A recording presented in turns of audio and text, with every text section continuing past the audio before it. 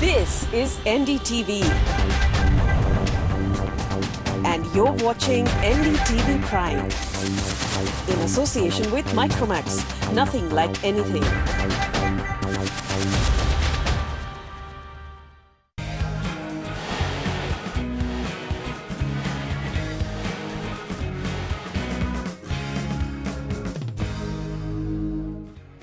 You're watching Property It's Hot, your weekend guide to buying smart and designing smart when it comes to your home.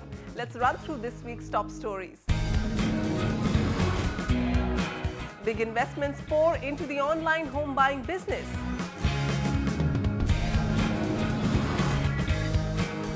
A chat with JLL's Anuj Puri on his forecast for property markets in NCR and MMR. And the latest gadgets to secure your home against thefts.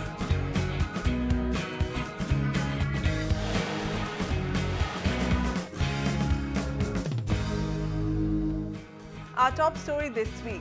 Many of you in the search for a property to invest in are logging on to online portals to shortlist your options. And this virtual world of the real estate business is now seeing the entry of several promising startups who are taking on the competition with out-of-the-box ideas. Ankita Sinha and Lakshmi Sivadas do a trend check for us. IBMer Rajiv initially had a tough time finding the right house to rent and also the perfect flatmate to share it with. But that problem was easily tackled by Speed Flat Chatting, an event inspired by the concept of speed dating, except to help find the ideal flatmate and house to rent. Startups like FlatChat that has organized the event are leaving average customers like Rajiv spoilt for choice thanks to the out-of-box services they are offering. I'm in Bangalore from last four years and uh, since I have changed my company, uh, it's been two months now and I'm looking for a new flatmate right now. With, uh, with this meetup kind of thing, I've been able to identify some of the people whom I can actually share room right now. I have a shared flat and I'm looking for flatmates. What I'll do is I'll post on Facebook, Twitter. There'll be 10 other places I post to. But what if FlatChat is an app that you go create a profile and there only you will see four matches with, with whom you can chat real time and then exchange, hey, I have a flat, are you looking for some? Sites like FlatChat are one amongst many innovative concepts hitting the real estate market thanks to the booming popularity of new online portals. Sites like Housing.com, CommonFloor, Flats.to have seen major interest from investors in India and abroad. While CommonFloor has already secured over $49 million from investors since its launch in 2007, Housing.com has secured over $140 million in investment. With massive fundings and young minds at the helm, the strategies offered by these sites have begun to revolutionize the real estate market. Even players with standalone portals have begun taking notice, like Tata Value Homes did by tying up with Housing.com very recently. Here the idea was to facilitate people who will come to housing.com traffic as well as draw tra traffic into this to expand the reach, um, give a uh, enhanced experience to those who are coming into that and through that facilitate sales. So what are some of the innovative strategies that have come out thanks to these sites? Well, for starters, they are now offering end-to-end -end solutions by drawing up legal requirements like rental agreements or for that matter even helping figure out loan schemes that suit your requirements best. People spend approximately 4 to 5 hours outside the registration office trying to register their house right? And if you do this nationally across the whole year it comes to around 50000 man days of productivity of the average indian gone down the drain right? So housing rental agreement will let you do the same thing online in just 5 minutes. Apart from this, housing portals are also catering to customers' post-buying needs, like community management via groups and mobile applications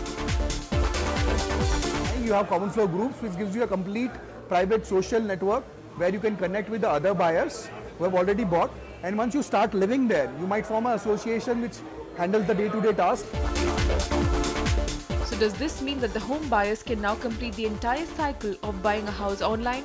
Well, not yet. For some aspects such as identity verification and signing registration papers, one still needs to physically go to an office to get things done.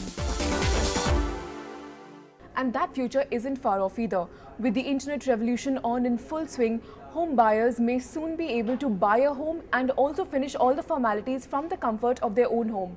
With Lakshmi Sivadas in Bangalore, Ankita Sinha for NDTV. This week we have a micro market report on Faridabad from the National Capital Region. Now a new BJP government is in Haryana and they have just announced a new highway project that will cross through Faridabad. What is this infrastructure project all about and what does it mean for Faridabad's real estate market? Onitam Ojha has the details.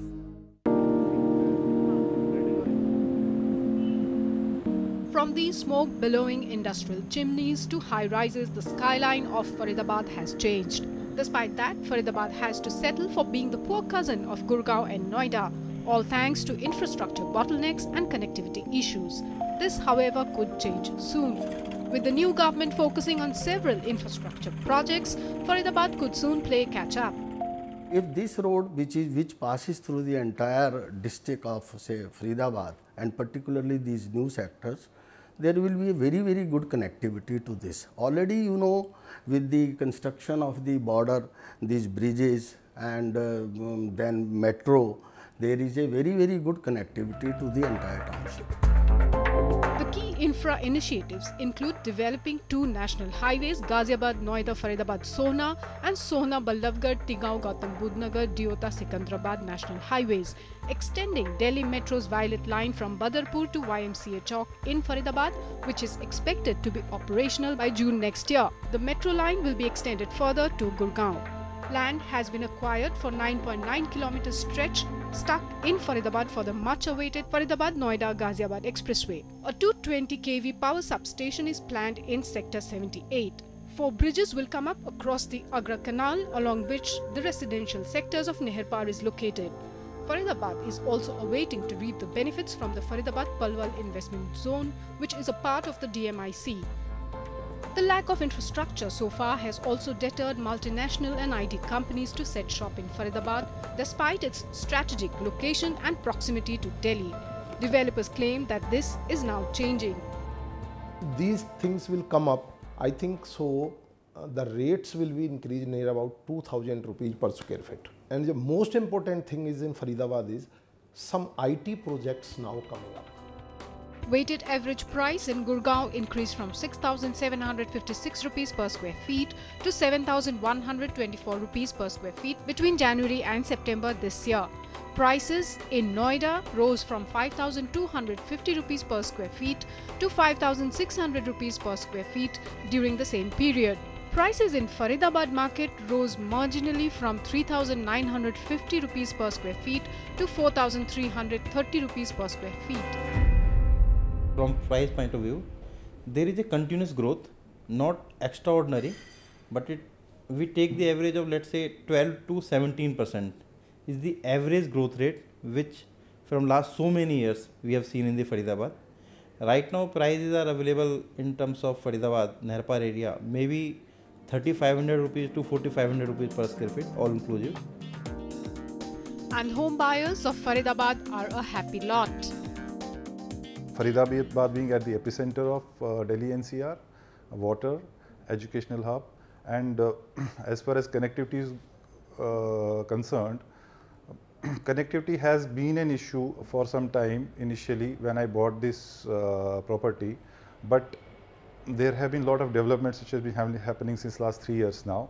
That way I think uh, this is probably the best place to live. The facelift of Faridabad has been long overdue. While both residents and industry are upbeat about the announcements, timely implementation of the projects is what will make Omar Faridabad. In Faridabad, Oinita Moja, NDTV. It's time to bring you the expert voice of the week. Anuj Puri, chairman and country head of real estate consultancy JLL India, is known for his precise and practical assessment of the health of India's real estate industry. So as the Indian Parliament gets rolling with its winter session, we asked him what the real estate industry is expecting on the legislative front and whether real estate sentiment will see a turnaround as we usher in the new year. Listen in.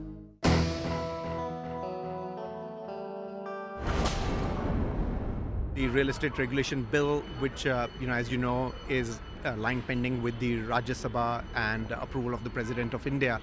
Uh, and in that, we want a crucial stakeholder, which is the government sector, to be included within the real estate uh, regulation bill.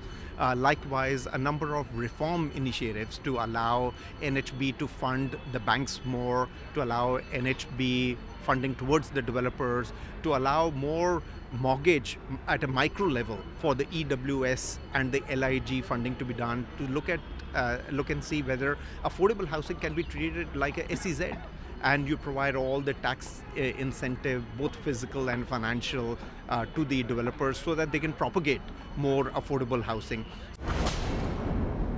We're seeing a lot more investors uh, coming in from overseas, talking to companies like JLL.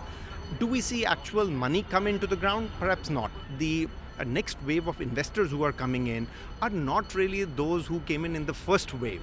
So this is a completely different breed of investors who are coming in. They are a lot more patient. Um, their ability to understand India is a lot more there. They're not the hedge fund type, you know, who came in early and exited because they found India risky or perhaps had a very long gestation period. You know, these are these are sovereign funds who are coming in uh, who have a long gestation period. Their also appetite is to go out and buy fixed income and you know take lesser risk on the on, on the development side.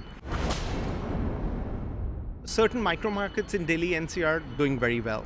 Um, certain other micro markets not doing well, and that's particularly because of the price range. Uh, I think if it is priced nicely, it's doing exceptionally well. If it is really priced in that luxury premium sector, that's where the pain is coming in. I am very bullish of Navi Mumbai uh, on several accounts. You know, one, it's got a great physical infrastructure. Uh, second, you know, airport hopefully in the next four or five years should come up. Uh, but what is more exciting is that we're finding a lot of the IT corporates setting up large campuses. There are four or five SEZs in Navi Mumbai. All of them are beaming with activity. And when you compare Navi Mumbai, it's a fraction cheaper than Pune. And you can keep tuning into us every weekend on Property It's Hot for such expert industry views. Coming up next after a quick break, smart security devices for today's smart home.